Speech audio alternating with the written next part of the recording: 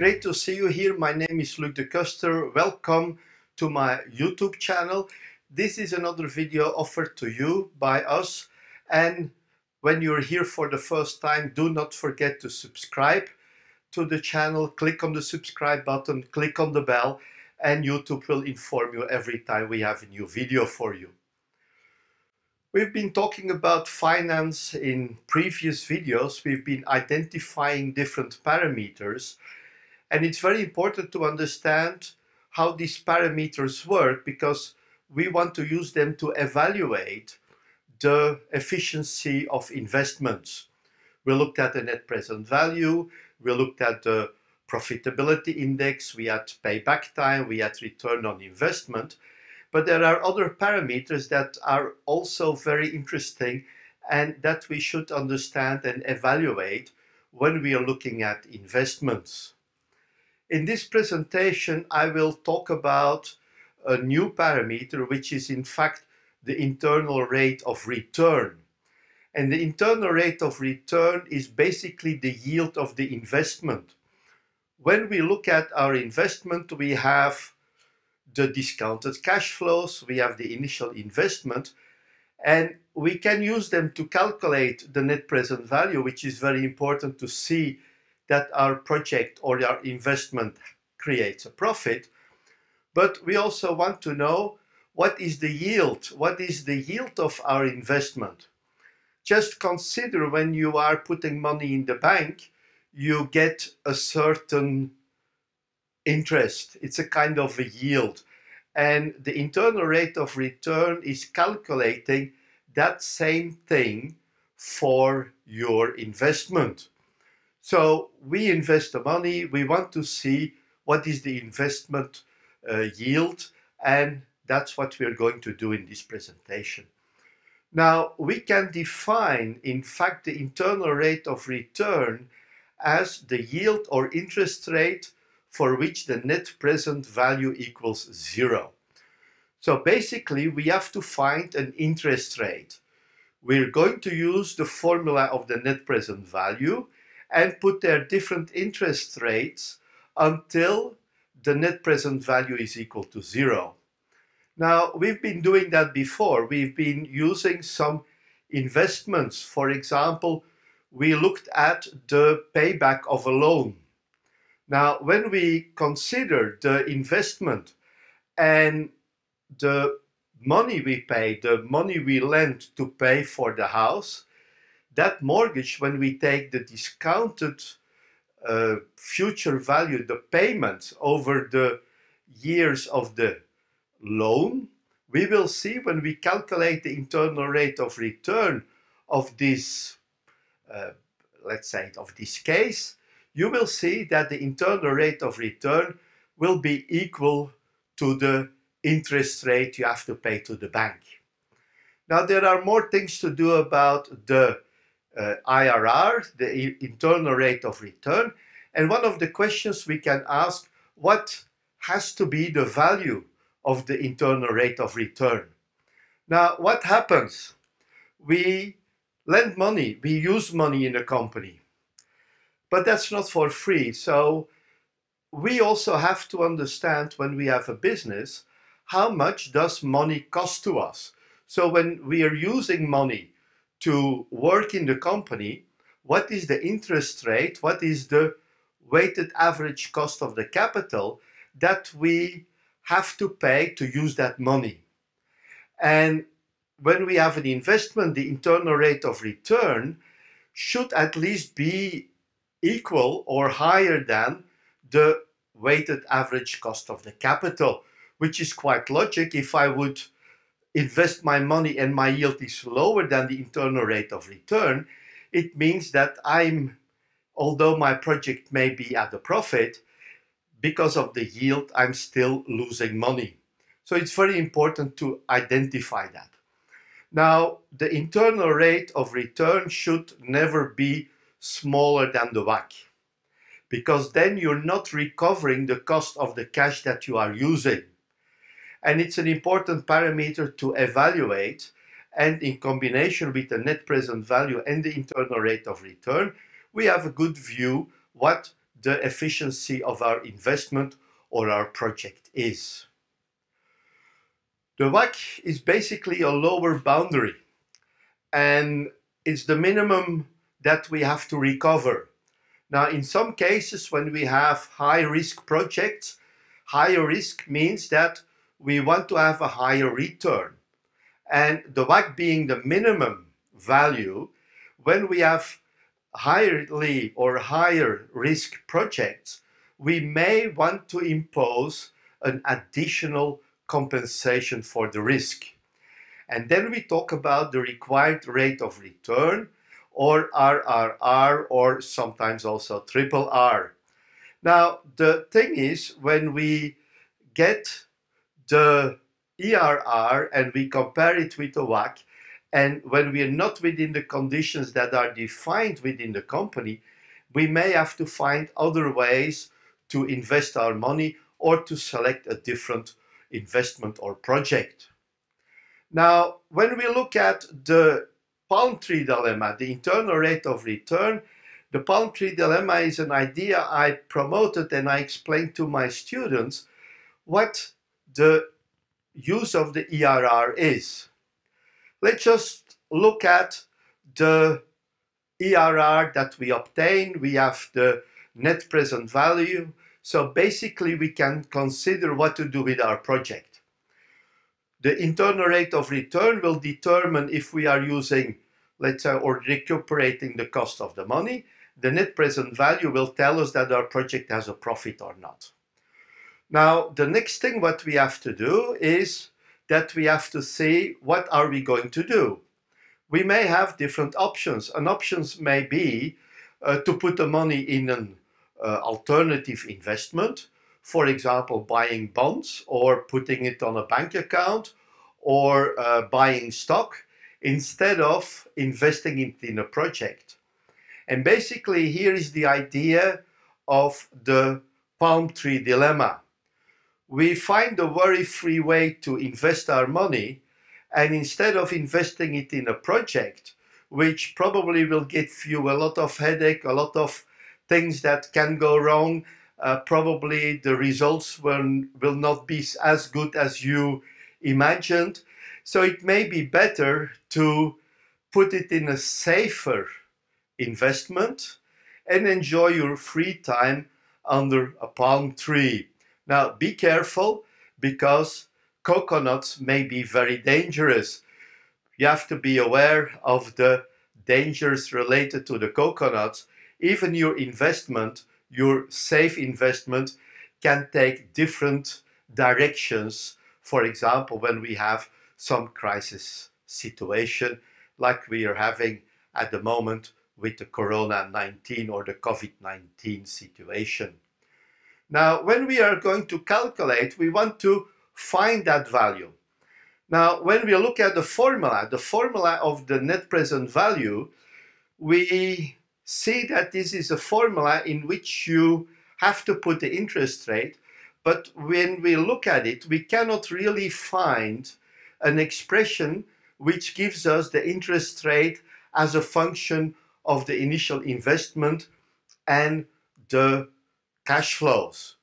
Basically, when we are looking at the formula for the IRR, we have to find the or use the net present value formula and the net present value formula in this case has to be equal to zero and we have to change the interest rate by the IRR. So we have the summation of the discounted cash flows where the discounting parameter is 1 plus the internal rate of return plus the initial investment. Now the internal rate of return we don't know and we have to find it. Now typically when we want to find this uh, expression, it's mathematically not possible to find it. So we have to find other ways to calculate the internal rate of return. Now what we can do here is to use a mathematical method which I also teach in uh, courses like college algebra which is what we call a trial and error. And what we are going to do, we are going to assume that the IRR has a certain value and put it in the NPV formula. And we try by adjusting the numbers to find an interest rate which brings the NPV close enough to zero.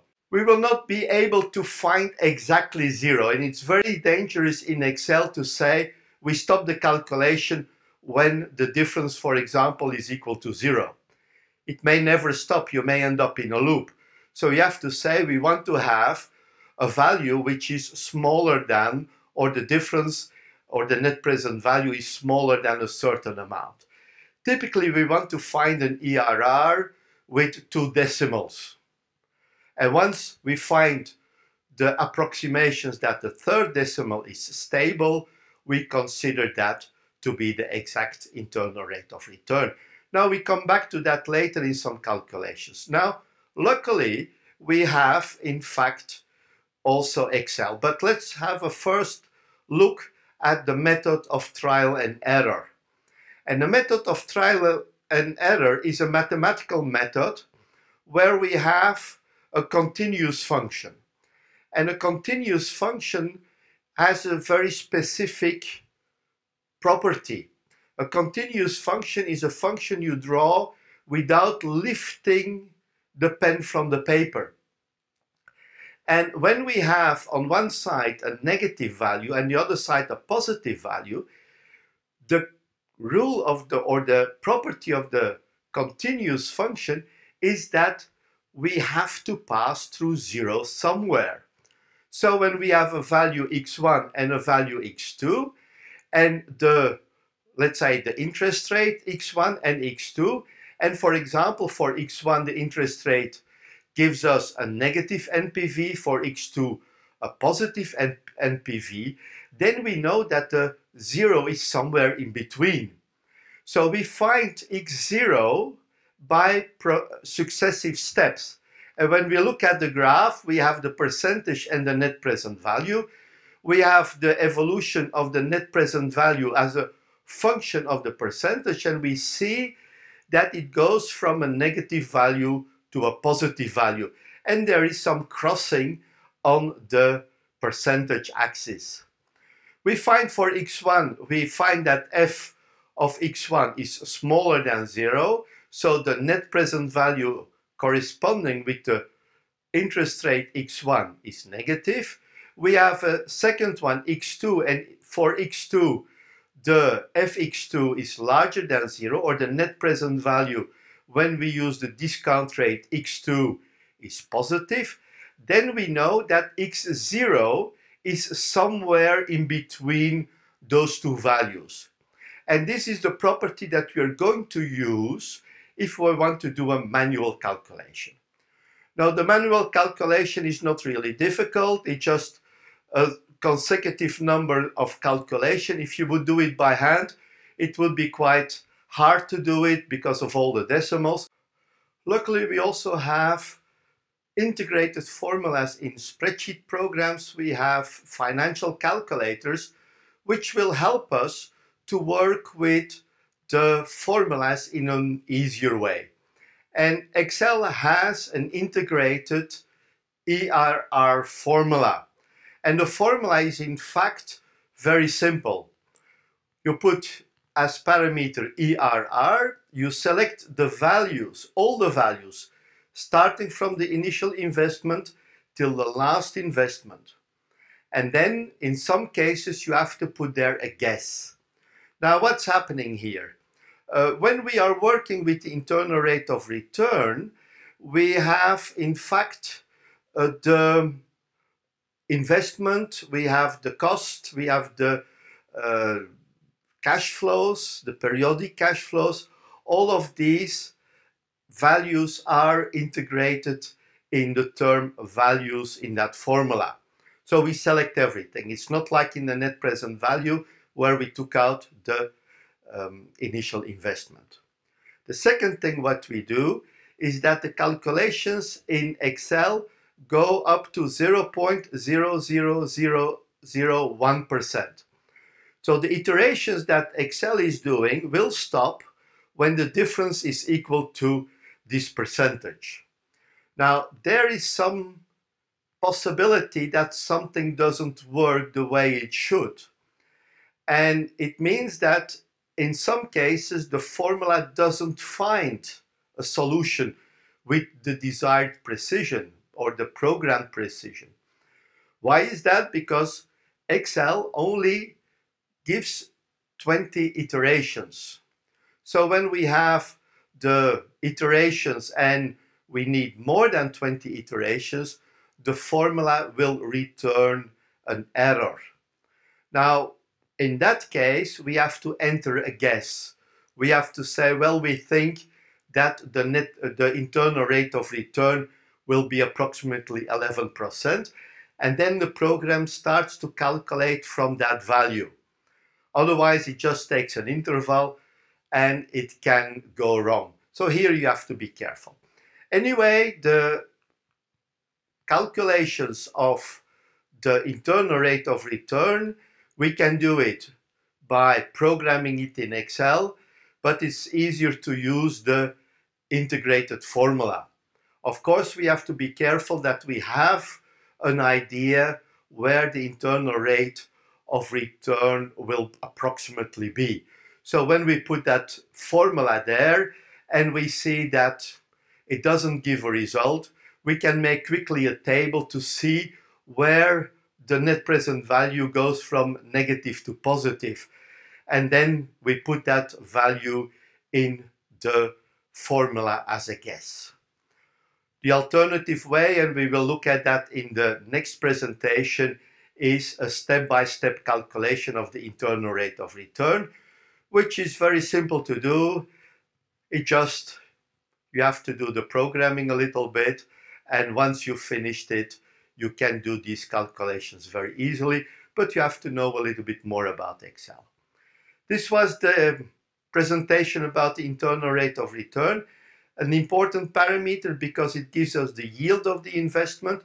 We can compare the yield with the cost of money for our company and it's a very good parameter to say, well, is our investment good?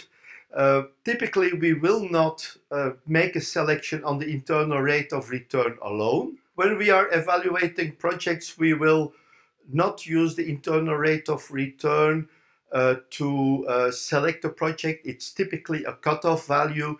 Every time when we see that an internal rate of return is less than the WACC or the uh, required rate of return, we will reject, in fact, the investment or the project. On the other hand, when we have the internal rates of returns, uh, when they are acceptable, we will use other parameters like the NPV.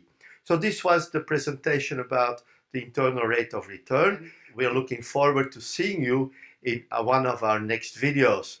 Thank you and bye-bye.